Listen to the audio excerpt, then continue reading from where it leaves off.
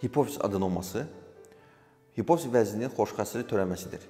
Ölçüsü 1 sm-dən az olan adenomalara mikro, ölçüsü 1 sm-dən çox olan adenomalara isə makro adenomalar deyilir.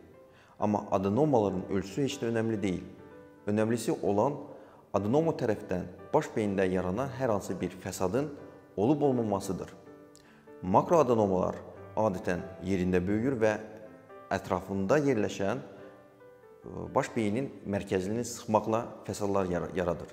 Məsələn, ən çox sıxılan, adenom tərəfindən sıxılan görmə çarpazları, görmə sinirləridir ki, makro adenoması olan xəstənin görmə problemləri yaranır.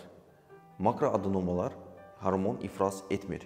Mikroadenomalar isə böyümür, lakin hipofiz vəzi kimi hormonlar ifraz edir.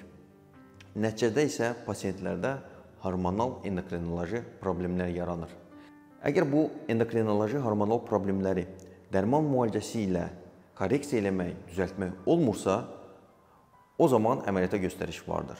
Makroadenomalarda isə əgər görmə sinirinin, görmə çarpazlığının sıxılması nəticəsində xəstənin e, görməklə problemlər yaranırsa, yenə də əməliyyata göstəriş vardır.